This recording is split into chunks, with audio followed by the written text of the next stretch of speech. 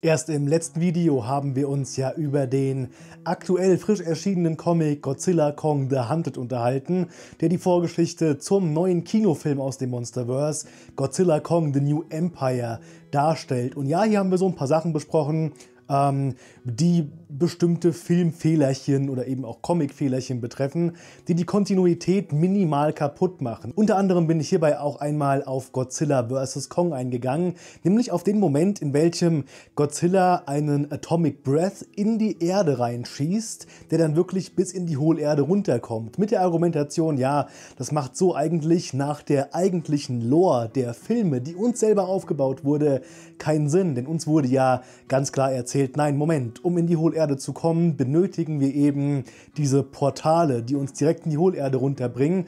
Und deswegen brauchen wir eben diese Raumschiffchen, die eben dann auch in Godzilla vs. Kong gebaut werden, beziehungsweise dieses eine, das dann eben auch da gebaut wird. Und das Ganze stellt einen relativ großen Teil des Plots dar. Deswegen mag es einem erstmal ein bisschen komisch aufstoßen, wenn man dann später im Film sieht, wie Godzilla einfach einen Atomic Breath in die Hohlerde runterschießen kann und die Kamera zeigt nochmal nach oben und wir sehen ja, eigentlich kannst du auch einfach so da durchfliegen. Wir brauchen weder die Portale dafür, noch brauchen wir ein Raumschiff dafür.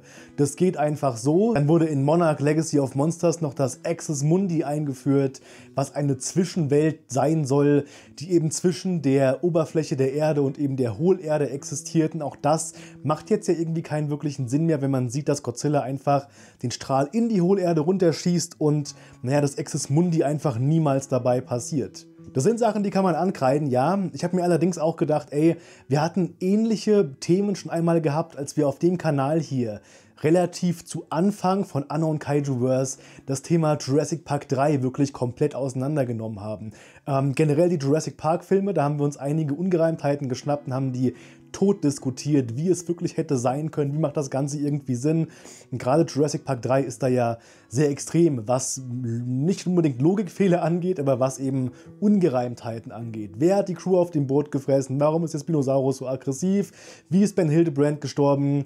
Warum träumt Alan Grant von einem Raptor, den er so noch nie gesehen hat? Also die ganzen Sachen haben wir ja wirklich erklärt und eben uns versucht, so plausibel wie möglich für uns selbst, für unser inneres Selbst zu erklären. Die Playlist zu Jurassic Park 3 habe ich dir mal da oben verlinkt. Ist vielleicht ganz interessant, wenn dich das mal interessiert. Denn ich dachte mir, komm, gerade jetzt, wenn das Monsterverse ebenfalls anfängt, hier und da kleine Fragezeichen aufzuschmeißen, schnappen wir uns doch einfach das Monsterverse und erklären ebenfalls diese Fragen. Ganz wichtig hierbei, die Antworten sind nicht zwingend Kanon. Wenn die Kanon sind, werde ich das Ganze im Video auch selber erwähnen.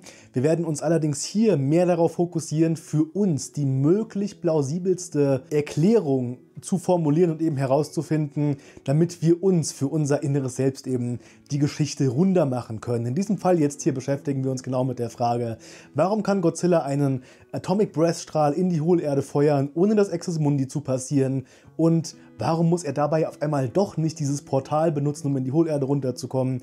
Darauf gibt es eine Antwort. Ich habe mich da mal ein bisschen reingefuchst in die ganze Mythologie des Monsterverse und eben auch in die Mythologie des Axis Mundi. Und ähm, ja, in diesem Sinne fangen wir an. Viel Spaß mit dem Video.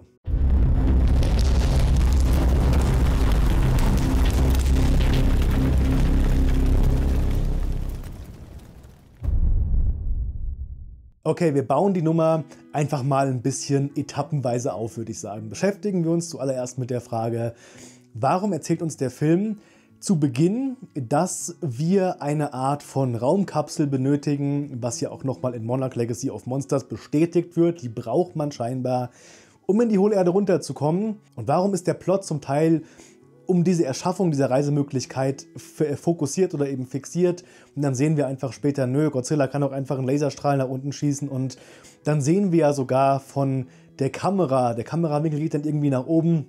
Und wir sehen sogar Kongs Blick und Kong kann durch das Loch in der Hohlerde nach oben gucken und sieht dann eben auch einfach Godzilla. Ist ein bisschen komisch.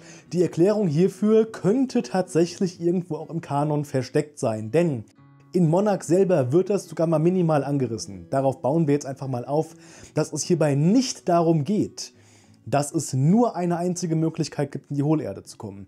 Darum ging es nie. Es geht darum, so schnell wie möglich in die Hohlerde zu kommen. Plus eben noch den Fakt, dass man durch das Reisen durch diese verschiedenen Portale die gesamten Ebenen der Erde natürlich dann nicht mehr durchqueren muss. Das heißt, man umgeht quasi die gesamte Erdkruste durch das Reisen durch diese Portale teleportiert sich mehr oder weniger durch diesen, durch diesen Strahl, den wir eben sehen, in die Hohlerde runter. Das ist natürlich für die menschlichen Figuren wesentlich einfacher so zu reisen, beziehungsweise auch die einzige Möglichkeit, so in die Hohlerde runterzukommen, denn sonst müsste man ja eben wirklich ein Loch in die Erdkruste bohren, durch verschiedene Lavaschichten hindurch. Wer den Film The Core äh, kennt, da muss ich irgendwie gerade dran denken, das umgehen wir eben alles. Das heißt, wir reisen durch diesen, durch diesen Strahl, der in die Hohlerde runtergeht, durch sämtliche Schichten durch, ohne sie allerdings wirklich physisch passieren zu müssen. Das macht so gesehen schon total Sinn, dass die Menschen es deswegen brauchen,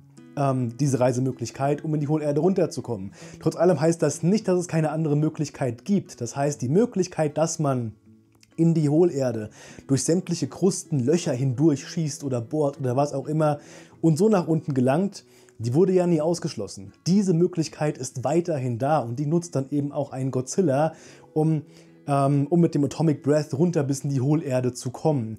Dass dann Kong nach oben gucken kann und, naja, bis hoch zu Godzilla schaut, das lassen wir einfach mal der Logik des Monsterverse übrig. Das kann man jetzt wenig kritisieren in der ganzen Nummer. Allerdings würde das definitiv Sinn ergeben.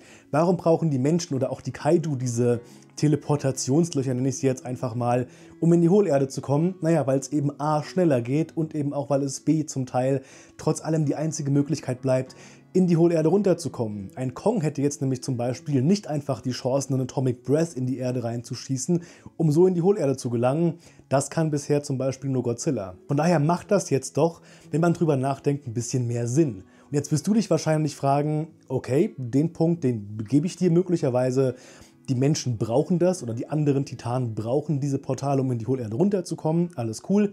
Godzilla braucht es eben nicht zwingend, aber trotz allem kann auch Godzilla sich eben den gewaltigen Kraftaufwand sparen, mit einem Atomic Breath einen Weg in die Hohlerde runter zu ballern, indem er einfach durch diese Portale durchswitcht. Das ist alles cool. Aber warum wird dann nicht noch das Exis Mundi irgendwie kurz mal angerissen? Und da haben wir alle einen Denkfehler. Und ich sage ganz bewusst wir, weil auch ich diesen Denkfehler hatte. Das Exis Mundi wird in Monarch Legacy of Monsters als eine Zwischenwelt beschrieben. Das Ganze wird so angedeutet, aber nicht wortwörtlich so gesagt, wird aber so angedeutet, dass wir uns das so vorstellen müssen, dass die Erdkruste die obere Fläche ist. Ganz unten befindet sich dann eben die, die Hohlerde, wo wir eben hinreisen wollen. Und in der Mitte ist dann eben noch diese Zwischenwelt, die wir passieren müssen, um in die Hohlerde zu gelangen. Ich habe allerdings jetzt mal so das Axis Mundi, also die, die Brücke zwischen den Welten, einfach mal gegoogelt, denn die gibt es ja laut einer italienischen Mythologie wirklich.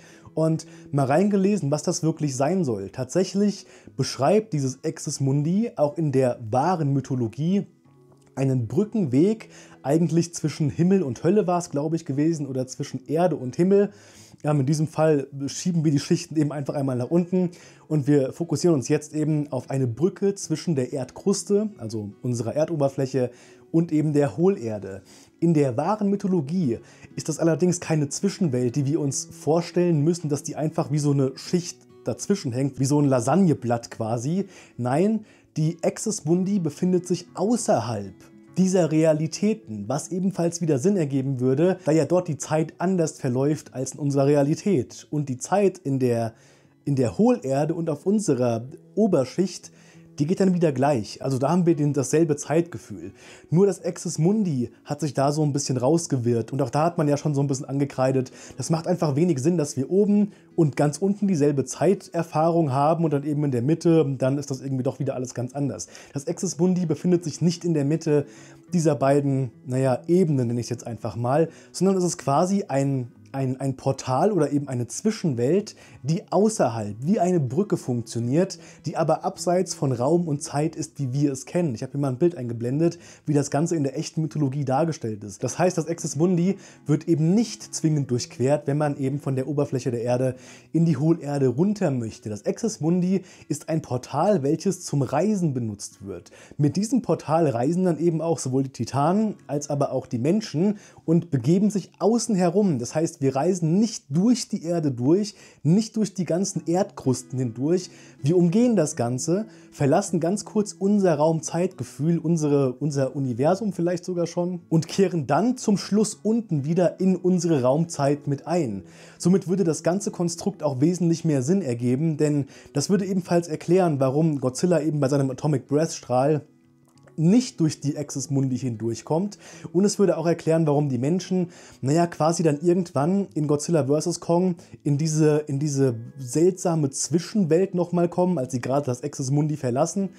Und wo man dann eben sieht, dass keine, keine Gravitation mehr vorherrscht. Das, die Gravitation gibt es hier eben nicht, weil es hier auch keine wirkliche Raumzeit mehr gibt was wir auch in Godzilla vs. Kong dann gelernt haben, da das Axis Mundi genau dieses Verhältnis von Raum und Zeit, wie wir es auf der Erde kennen, in unserer Welt kennen, verlässt, bis wir dann eben wieder da unten einkehren und somit, naja, dann eben die Hohlerde betreten. Ich hoffe, ich konnte das Ganze hier relativ anschaulich erklären und ich muss sagen, wenn man das wirklich aus dieser Warte betrachtet, ist auch jetzt kein Eigenlob, das stammt ja nicht alles komplett von mir.